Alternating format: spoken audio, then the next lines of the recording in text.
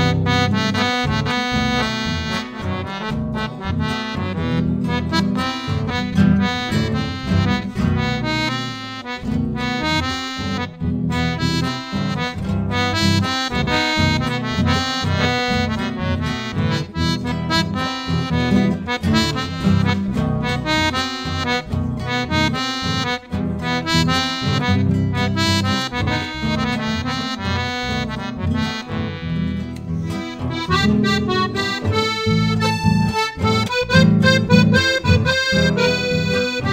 you.